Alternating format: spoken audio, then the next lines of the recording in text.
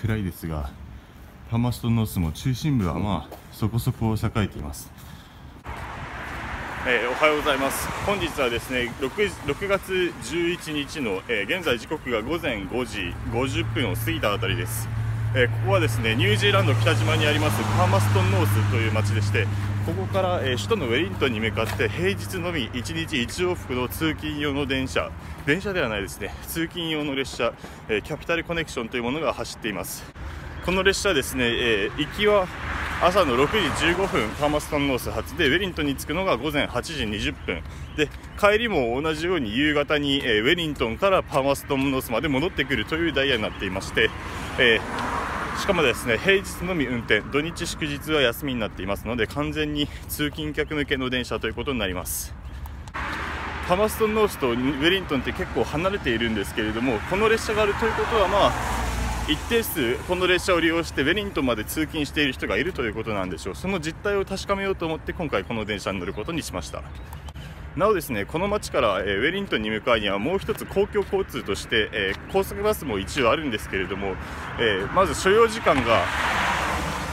え、このキャピタルコネクションという列車の名前なんですけれどもそれよりも、え、30分ほど長くですねまた到着到着時間も午前7時45分ということでちょっと遅くなっています。その代わり料金はちょっと安いですけどね、まあ、ですのでうまいことその高速バスと、え、このキャピタルコネクションで住み分けがなされているんじゃないかなと思います。料金なんですが片道35ドルとかなりお高めなんですが、えー、定期的に通勤する人に対しては、えー、定期券というのがありますのでそれでまあ実質半額ぐらいで利用することができます。今駅に向かう間の道のりでもです今の車みたいにあの自転車ですとか車で駅にやってくる人がいます。おそらく大半の人は徒歩ではなくこうやって車でやってきて駅に車を止めてそのままウェリントンとかに向かうんじゃないでしょうか。車を止めるだけではなくておそらく旦那さんですとか奥さんに送ってもらっているような人もいるようです。正面玄関残念ながら鍵がかかっておりますので横の方から直接ホームに入るみたいですね。パーマストン農政駅はもう1日1往復とそれプラス観光列車が週に6回しか止まりませんからまあ無人駅です。先頭はですね、えー、非電化区間を挟みますので機関車によって牽引される客車となっております。内装はこういう感じでですねまあ結構落ち着きがあるいい感じの雰囲気だと思いますね。で座席もまあちょっとバイトの感覚は狭そうですけれども日本でいうとまあ普通の特急用の電車の自由席の座席みたいな感じです。ちなみにあの特に予約などは必要なくて全車指定席となっております。車両なんですけれども、えー、先頭にディーゼル機関車が1両そしてですね中間になんと客車が7両もあります。そして一番最後にはえーと電源車も設置されておりまして、えー、合計で9両編成なかなかの大所帯ですね。これであれば途中駅もあのいくつか設定されているんですけれどもその全てのお客さんがしっかり座ることができそうです。ファーマストンノース時点での着席率なんですけれどもまあ今のところせいぜい1割とかそれぐらいなんでしょうかね。まあそれでも見た感じだと僕が思っていた以上にはお客さん乗っているなと思います。結構ねキャリーケース持ってるお客さんがいるんですよね。だからひょっとしたらウェリントンまで行ってそこから国際線に乗り換えるお客さんの需要も結構多いんじゃないかなそう思います。仕事服みたいな感じで乗っている人もまあいるんですけれどもそれ以外の普段着みたいな人も結構いるんですよね、えー、現在時刻6時7分ですのでもうそろそろ乗り込んでいこうと思います。機嫌な顔してこっちの方を見てる人もいるんでちょっと居心地が悪くなってきました。プラットフォームは結構低いのでこういう風にちゃんと段差が置いてあります。おそらくはあの車椅子用のお客さんでも多分乗れることができる設備がどっかにはあると思うんですが。ここでかなり簡単ではありますが車内の様子をご案内します。車両なんですけれども、まあ、そこそこ古くてですね1980年代の終わりとか90年代の初めとかそれぐらいの様子でした。座席もなんかそんな感じですね。JR 九州の昔の特急電車とかを思い出します。車内トイレも設置されておりまして、えー、一部バリアフリー対応になっているトイレもありました。車内にはこういうふうに緊急事態に対処するための掲示などもあります。列車はほとんど定刻6時15分に発車。客車ですからモーターの音とかは全然しないんですけれどもその代わりにですね非常に線路から音がガタガタガタガタ聞こえてくるんですよね。であまり線路の状態も悪くないあ良くないんだと思うんですけれどもまあそのおかげで振動とかがどんどんやどんどんやってきます。基本的に貨物列車主体ですからねあまり乗り心地を考慮するということがないんでしょう。まあ、これはこれでいいんじゃないかなと思います。私は、ま、嫌いではないです。外は残念ながら何も見ることができませんでした。ニュージーランドは6月は冬至の季節ですので午前7時20分とかそれぐらいにならないと日が昇らないんですよね。晴れていると左側には、えニュージーなんだ北島の山脈リムタカ山脈といったのかな。そういうのが眺められて綺麗だそうです。本日もキャピタルコネクション号をご利用くださいましてありがとうございます。途中停車駅と到着時刻のご案内です。次の停車駅はシャノン6時38分着。続いてレビン6時53分。小滝7時13分ワイカナエ7時25分パラパラウム7時32分そして終点ウェリントンへは8時20分の到着です。途中パラパラウムでは、えー午前7時44分発のカピキラインベリントン駅に接続いたします。カピキライン各駅をご利用のお客様はこちらでご乗り換えください。このキャピタルコネクション号は1号車から7号車まで連結しております。全車自由席です。トイレは各号車にございます。これより車掌が検察に参ります。乗車券をお持ちの方はお手数ではありますがお手元にご準備ください。乗車券をお持ちでないお客様は車掌が販売いたしますのでお支払いの準備をよろしくお願いいたします。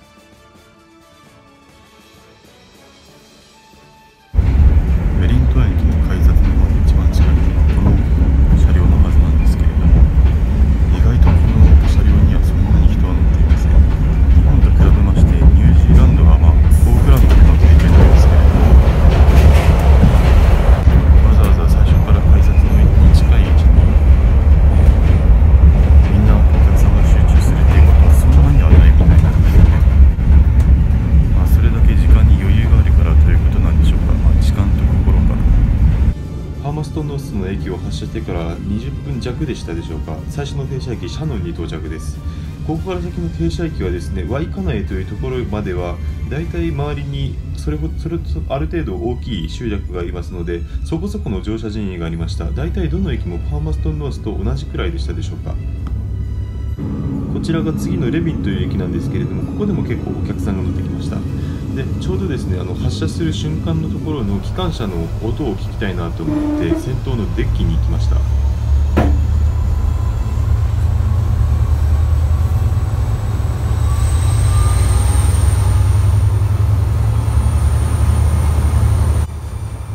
この力強い音ですよね。機関車って本当に出力があるんだなというのが分かります。えっ、とブロワーというんだしかねあまり詳しくはないんですけれどもあのエンジンに空気を送り込むための音が今のブワーという音だそうです。でこの後なんですが、えっと、デッキのところですね。デッキと客室の隔てるところが自動ドアになっているんですけれどもこれが昔ながらの、え床人が踏むことによって反応するタイプのものでして、えー今は JR 東日本の180号系電車とか非常に古い車両に残っているんですけれどもこれですねこう踏むとバンとドアが開きます。かなり古い車両なんだなというのが想像がつきます。列車はものすごく揺れています。わざと揺らしてるわけじゃないですからね。貨物列車しか基本的に走りませんのであまりあの列車の揺れに気を使うように保守保守点検をする必要がないということでしょうか。列車は結構な高速でおそらく時速100キロとか110キロとかそれぐらい出ていたと思うんですがかなりの高速で並走する道路の車を抜かしていきます。これだけ速ければ、まあ、使う人が多くても不思議ではないなというないなという感じです。こちらさらにその次小滝という駅なんですけれども街灯のおかげで結構お客さんが待っている様子を伺うことができました。多分各車両につき10人とか15人とかそれぐらい乗り込んだんではないでしょうか。刻は午前7時15分を回ったあたり。この辺りでまだ日は昇っていないんですけれどもかすかに明るくなってきました。この先でですね非常に景色がいい海岸線を走る区間があるのでその区間はちゃんと見ることができそうです。小滝を過ぎた時点で乗車率は6割程度でしょうか。ここから先は近郊電車のカピティラインというのも走っている区間に入りますのでまあなんて言えばいいのかな。ウェリントンの近郊区間に本格的に入ります。ですので、えー乗車する人たちも一気に増えましてこちらが多分パラパラウムという最後の停車駅だと思うんですがここでもかなりのお客さんが乗り込んできました。私の座っていたボックスシートにも、えー今までは誰も座っていませんが前に2人横に1人と3人腰掛けましてこれで先頭の車両についてはほぼ満席。まあ、実際にはそのパラパラウムの1つ前の駅からほとんど満席でしたから、まあ、他の後ろの2号車、3号車とかそちらの方もかなりの乗車率になっていたんではないでしょうか。パラプライムなかなか郊外にあるんですけれども結構発展発展している印象がありました先ほど申し上げた通りパラパラウムの1つ前の駅から、えー近郊電車が走る区間になりました。アスラッシュ時はこの区間は20分に1本そしてウェリントンに近づいたところだと10分に1本それぐらいの頻度です。今ちょうど駅のプラットフォームを通過しているところ。これはすいません止まったのかな？こっちがパラパラウムかな？すいませんちょっとどっちがパラパラウムかわからないです。ちょっとパラパラウムって聞くとねあの長州小力とかを思いか思い出す人もいるかもしれないですがひょっとしたら私だけでしょうか？この辺りからウェリントンまでだと多分40分ほど所要時間かかると思うんですがそれでも結構遠いですけれどもそれなりに栄えております。この区間から線路が複線になりました。やはり電車がたくさん通りますからね複線にしないと本数をさばけないというわけです。横の工事中区間で減速をしている車を尻目に列車はものすごいスピードで通っていきます。100キロぐらいでしょうかね。ただ相変わらず揺れはひどいです。客車っていうのもあるかもしれないですね。客車は電車と比べると重量が軽いですからその分揺れやすいのかもしれないです。ここから先はひたすらウェリントンのすぐそばまで道路とずっと並行していきます。午前7時30分とか40分ぐらいでしょうかね。貝かかり木という駅を通過した辺りから海が見える区間に入ってきます。これですね。見えてきました。ちょっと曇り空なのであんまり景色が良くないんですけれども、えー眼下には広大なこれは何海峡というのかな？オーストラリアとの間の海峡の部分をひたすら眺めることができます。実はこのキャピタルコネクション号海が見える区間というのは合計で3区間あるんですけれどもこちらが一番最初の区間。この区間はあの眼前に海が広がるというよりは崖の上から海を見下ろすという形になります。ウェリントンの街中と、えー先ほどのパラパラウムとの間には非常に険しい山脈が立ちはだかっているんですが列車列車というか線路はそこを避けるようにして海岸とその山脈のちょうど間の部分のかなり細い細い峠道のようなところを縫って走っていきます。1870年代に作られたんですが当時の人々の努力は大変なものだったと思います。今ここのところは線路が2つあるんですけれども、えーこのこの崖越えの区間については基本的に線路は単線になっておりますのでおそらくは朝ラッシュの時間帯であっても20分に1本しか運転できないんでしょう。おそらくこの単線区間が原因原因かと思います。海の景色となるとやはりあの空が非常に晴れ渡っていて太陽が降り注いで、えー白い砂浜があってというのが一番絵になるかとは思うんですけれどもこういう曇り空でしかも荒々しい波が岸壁に打ちつけているこういう雰囲気も非常に哀愁が漂っていて私は個人的には好きですね。下の方に車は走っていますが列車はあの勾配に弱い乗り物ですのでなんていうのかなこれから先ウェリントンとの間にある峠を越えるためにゆっくりゆっくりと勾配を上げていきます。先ほどと比べると高さが高くなっているのがお分かりいただけるでしょうか。1ヶ月か2ヶ月くらい前にキャピタルコネクション号という別の観光列車に乗りに行ってそこでもかんあの海岸線をずっと見たんですけれどもこちらのキャピタルコネクション号から見る海岸線だけでも十分な気がしますね。向こうは6時間もずっと乗っていてさすがにずっと海が綺麗な海が見られると言ってもさすがに飽きてしまいました。この区間とか非常に絵になりますよね。これが夏でもっと晴れている日だったらよかったんでしょうけれども残念ながら時期は冬です。もっと夏の時期にこの景色に巡り合えていればなと非常に残念に思いましたがまあ日本からわざわざ遠く離れたニュージーランドまで来てそこでこういう列車に乗ることができたというのはありがたいことなのかもしれません。先ほどの断崖絶壁の区間も終わって一旦平野部に入ります。線路も、えー伏線に戻りまして先ほども列車と行き違いをすることができていました。先ほどまでは断崖絶壁が迫っている区間でしたが、え次は列車のすぐ横まで海が迫っているところを通ります。時刻は午前7時55分とかそれぐらいでしょうか。先ほどと比べてかなり日が昇ったのか、えー海が青々としてきました。景色に色彩が出てきました。この区間の海はちょうど入り江のようになっておりまして、えー湾の湾湾と言えばいいんでしょうかね。今ちょうど湾を横切るように鉄道の橋が通り橋を通り過ぎました。波が穏やかだからなのかたくさんのフェリーがフェリーじゃない あのヨットが止まっていますね。ニュージーランドは結構ウォータースポーツが盛んでその中でもヨットの保有率が世界的にも非常に高い国として知られています。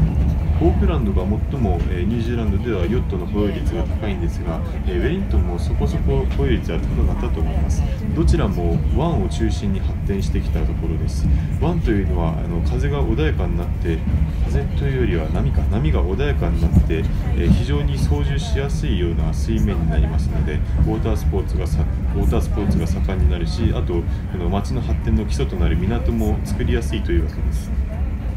おそらく夏の期間は多くの人がこの湾のところで名前はわからないんですけれどもこの入り江のところで、えーまあフェリーフェリーじゃないすいません。なんだっけあれであれだヨットヨット。ヨットを使ってウォータースポーツを楽しんだりとかあとは海水浴に興じたりするんでしょうか。その夏のにぎやかな時期にももう一度乗りに行きたいなと思うものです。3つあるうちの2つの海の景色を見終えた列車は、えーまた再び山間部に入ってきました、まあこれから再び峠越えとなります。峠越えの近くとあって、まあ、山あいなのであんまり家もないですね。でこの峠越えなんですけれども、えー今回については